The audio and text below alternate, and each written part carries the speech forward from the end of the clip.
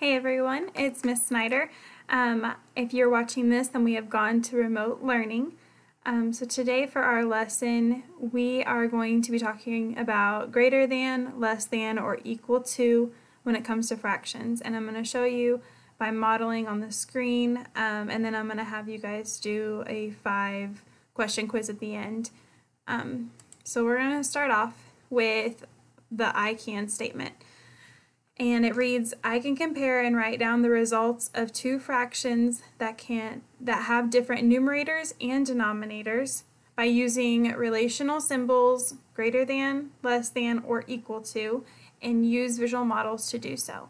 So I put several examples on here, um, and I'll kind of go through how I want you guys to do that. Um, and then when you're done, you'll just hit submit on your Google Classroom, and it'll come to me. So we are going to go over some terms to know. Um, again, relational symbols, as you can guess, these are symbols such as greater than, less than, and equal to. Um, and then the numerator, this is going to be the number above the line in a fraction, and it shows how many parts um, are going to be taken away from the denominator or kind of colored in on the model. Um, for example, this would be two, the number 2 whenever it comes to 2 thirds. Again, so that's numerator is the top. Um, denominator is the bottom below, or the number below the line, sorry, in a fraction, and it indicates the number um, to make a whole. So for example, it would be the 3 and 2 thirds, because there's going to be three, um, three sections to make that whole. So, in a way that I remember this is that I put, I think of like down, denominator, down, they both start with D. Um, so, in my brain, that tells me that the denominator is down, it's on the bottom. We're going to go over and kind of review those relational symbols I was talking about, just so that you know um, which one to use on your PowerPoint um, before you submit it. Want to make sure you have those correct. Um, obviously, the equal to will probably be the easiest one for you guys because you've seen an equal sign before. Um, but greater than and less than, those can kind of get confusing. So you're going to kind of want to think of it as, um, I guess the way I think of it is that it points to the lesser of the two. So greater than is going to be this red um, symbol right here, and it's going to, um, like I said, point to the right. Then there you're going to have the less than sign, and it's going to point to the left. It's going to be that yellow sign. And the good thing about this is that we're going to work through several of these PowerPoints together, and then you'll be able to work on your quiz by yourself. Um, but then that way, at least, you will, um, you can come back and reference these. I wanted to make sure you guys had a reference. I'm not trying to make it difficult on you guys at all. Um, so we're going to go right into kind of work through together. And sorry, these are a little blurry. I was trying to um, copy and paste them off of the worksheet that we would have done in class if we weren't remote learning, and they came through a little bit blurry. Um, but we can still work with them. So we're going to decide if one fourth or one third is greater, uh, or if one fourth is greater than, less than, or equal to one third. Again, the top number is the numerator, the bottom number is the denominator. So the way that we can do this with modeling, um, with the models, is I've created these little dots over here for you guys. That way you can kind of show, since we can't like physically color them in, you can at least dot the areas that are supposed to be shaded in. Um, so I'm going to go ahead and there are four parts to the whole. Like I said, the denominator is how many parts make up the whole. The numerator is what we're going to shade in or color in. So I'm just going to go ahead over here and grab 1 and drag that 1 over to that section. Kind of just indicates what's colored in there. Over here, there's three, three parts to the whole. We are going to cover up one of those as well. So the numerators in this one are correct. All right, and so by looking at the models, it kind of helps me visually, it for sure helps me um, know which one is greater just by looking at it, just so I don't have to do the math on it. Um, I can tell that one third is greater. So I said it's going to point to the lesser of the two. So I'm going to drag over the lesser than sign. Or the, yes, the lesser than sign. So one fourth is lesser than one third. You're going to say it like a sentence straight across. So one fourth is lesser than 1 third.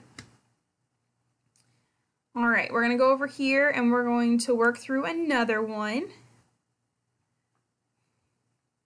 Here's another one with a common numerator. I don't think all these are, no, that one's not. So with this one, there's 16 parts that make up the whole, but we're only going to shade in one. So we're going to drag our little dot over there. Then we're going to go, there's eight parts that make up the whole, but we're only going to color in one.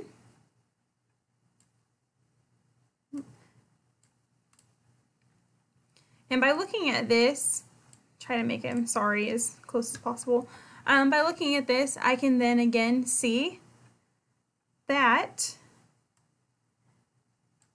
1 16th is lesser, because it has less of an area colored in than the 1 8th would. 1 16th is less than 1 8th. And if you have any questions at all, please email me, let me know. Um, write them on this assignment when you go to submit it. That way we can get it all straightened out before we go to the next one. All right, working through number three that we have. Um, here is one where it's different numerators and different denominators. So right here we have the three parts of the whole, but we're only going to color in the one. Oh, oh we're going to mess it up here. Let's see. I want to make sure I can, I'm going to send this to the back. So the dot, there you go, there's the dot, there's the dot. So then here, this is 16ths, 16ths that make up a whole, but we're going to color in 5 this time. So we're going to go 1, 2, 3, 4, and our fifth one right there. Okay, so imagine all this colored in, kind of ignore that white space. Sorry, I was trying to find something that would dot it appropriately. Um, but you're going to go ahead and you're going to shade in this area and this area. So on this one, it's kind of close, but I do think, I guess we could do the math on it as well. Um, so one third and five sixteenths, one third is going to be greater than so one third is greater than 5 sixteenths on there. Um, the way we can also do that is to find like a common denominator. Um, between these two, it's kind of hard, but if you remember in class, what you'll do is you will find a common denominator. Um, and once you find that common denominator, you make sure you multiply the top and the bottom the same. Um, once you find out your um, the answers on there with the common denominator, you'll see that one third um, is greater than the 5 sixteenths on there. Um, and that can be for our next lesson. I, I need to type up something that kind of better explains that one. I don't want to leave you guys confused there. Let's go to our example number four. All right, and so we have 1 fourth and 2 eighths. So when it comes to this one, there are four parts that make up a whole. We're going to bring over our dot to color in just our one of the four. On this one, we're going to color in two of the eight that make up the whole. So I'm going to go ahead and grab my dots. All right, so what you'll notice about this one is that they're equal. They look completely the same. Um, this one kind of would be easier to say, uh, kind of compare or show you what I mean by um, like making sure they have common denominators because you could just multiply 4 by 2 and get 8, 1 by 2 and get 2, and then you have 2 eighths. So 2 eighths and 2 eighths would obviously be equal. Um, so for this one, we're going to put an equal sign there, and that's how that one's going to work out. Um, after this one, I am going to post this individual um, PowerPoint as is right now. So I'm going to leave the examples up here for you. But I'm going to post this PowerPoint to each of your Google Classrooms. So you guys are going to take your individual quiz, and that's kind of going to be your assignment for today, something to work on. Um, and here are, there's the two sixths and six sixteenths. And then I think I have three sixteenths and two eighths, one sixth and two sixteenths, and one third and two sixths. So again, with your individual quiz, I want you to please uh, move the relational symbols in between the two fractions to make the statement correct. And you're going to do so kind of like we did with how we just reviewed by moving over these dots and coloring it in. If you're unsure or they're too close, then go ahead and do the find the common denominator um, for me. And then when you find the common denominator, then you'll know for sure which one's greater than the other one. If one is leaving you confused, please leave a note on here or email me. Let me know it's confusing you. Um, and then I will and like I will get in contact with you individually and we will go through what to do on that um, so that next time you can know what to do.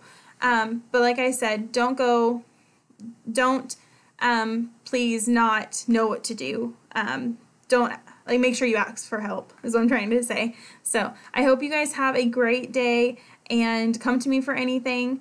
Um, but yeah, make sure you uh, submit this assignment. It'll be due by tomorrow. This is your homework for today.